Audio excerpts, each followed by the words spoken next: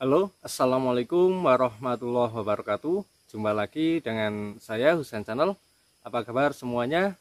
Semoga kita semua selalu dalam keadaan baik Selalu dalam keadaan sehat Dan selalu dalam lindungan Allah Subhanahu Wa Taala. Dan dipermudahkan segala urusannya. Amin. Allahumma amin ya robbal alamin.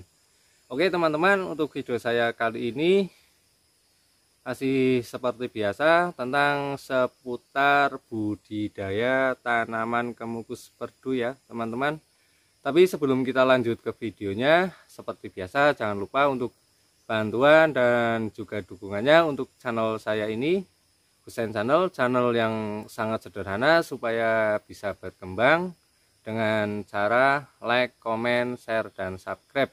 Dan jangan lupa juga nyalakan lonceng notifikasinya supaya bisa mengikuti terus video-video saya yang selanjutnya. Oke teman-teman, untuk konten saya kali ini atau video saya kali ini tentang cara kita membudidayakan kemukus perdu ya teman-teman dan semoga konten saya kali ini bisa memberikan informasi yang bermanfaat juga berguna untuk semuanya terutama untuk para petani Indonesia dan juga teman-teman semua yang ingin membudidayakan tanaman kemukus. Oke teman-teman untuk konten saya kali ini saya ingin menunjukkan pada teman-teman semua pada para petani Indonesia bagaimana cara saya membudidayakan kemukus perdu ya teman-teman. Dan mungkin cara budidaya kemukus perdu dengan cara seperti ini masih jarang atau bahkan belum ada yang mempraktekkannya ya. Dan di sini saya ingin menunjukkan pada teman-teman bahwa dengan budidaya kemukus perdu dengan cara seperti ini itu benar-benar sangat bagus ya. Nah, di sini saya menggunakan ini teman-teman keranjang yang saya buat sendiri dari tali strapping atau tali packing ya. Yang ukurannya untuk medianya ini tingginya kurang lebih sekitar 75 cm dan diameternya sekitar 50 cm ya teman-teman. Nah ini saya buat sendiri dari bahan tali packing. Mungkin kalau di pasaran belum ada ya teman-teman untuk keranjangnya yang seperti ini. Dan saya ingin menunjukkan pada teman-teman kalau budidaya menggunakan keranjang seperti ini atau budidaya kemukus dengan sistem seperti ini itu sangat bagus hasilnya. Karena apa? Ini bisa teman-teman semua lihat dari bibit yang baru kita tanam itu akan langsung tumbuh tunas akan langsung tumbuh tunas-tunas yang baru yang langsung keluar bunganya seperti ini ya teman-teman. Itu salah satu dari keunggulan kita budidaya kemukus perdu dengan menggunakan media tanam seperti ini. Selain itu juga sudah bisa kita pastikan kalau kita menanam kemukus menggunakan keranjang seperti ini bisa dipastikan untuk pertumbuhannya, pertumbuhannya akan lebih bagus dan tanaman kemukus kita akan lebih sehat karena apa? Karena ini ya teman-teman ketika kita menggunakan media seperti ini ketika musim hujan air akan langsung meresap ke bawah. Dan ketika musim kemarau, kita akan lebih mudah dalam melakukan penyiraman ya. Jadi bisa dipastikan tanaman kemukus kita akan tumbuh lebih subur dan lebih cepat berbuah contohnya seperti ini ya teman-teman bisa teman-teman semua lihat ini di sini walaupun kita baru tanam ini tapi dia sudah langsung banyak sekali keluar bunganya seperti ini bahkan sudah ada yang menjadi buah seperti ini ya teman-teman. Bisa teman-teman semua lihat ini. Ini baru saya tanam ya teman-teman. Memang di media pembibitan ini sudah kurang lebih ada satu setengah bulan. Nah, ini keuntungan kita budidaya kemukus perdu. Beda dengan kemukus panjat ya.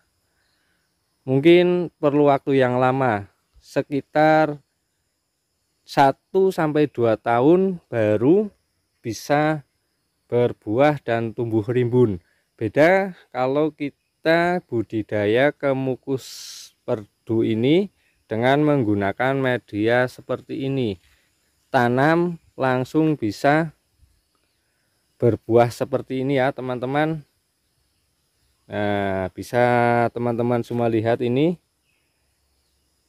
Ini bukan kaleng-kaleng ya teman-teman. Benar-benar bisa kita buktikan. Kalau budidaya tanaman kemukus perdu dengan cara seperti ini bisa kita buktikan tanaman kemukus kita lebih cepat subur dan langsung berbuah ya teman-teman. Nah di sini juga ada ini. Tuh langsung keluar bunganya seperti ini. Dan di setiap ruasnya sampai ke bawah-bawah itu juga keluar sudah keluar bunganya. Dan bisa dipastikan kita akan langsung mendapatkan buahnya tanpa harus menunggu terlalu lama ya teman-teman. Dan perlu teman-teman semua ketahui bagi yang belum paham dengan tanaman yang satu ini tanaman kemukus. Untuk tanaman kemukus ini termasuk masuk dalam kategori tanaman rempah. Dan untuk tanaman kemukus ini harga jualnya juga termasuk rempah-rempah yang paling mahal dan mempunyai harga yang sangat stabil ya teman-teman. Nah ini bisa teman-teman lihat. Ini walaupun baru kita tanam tapi dia langsung keluar bunga seperti ini ya teman-teman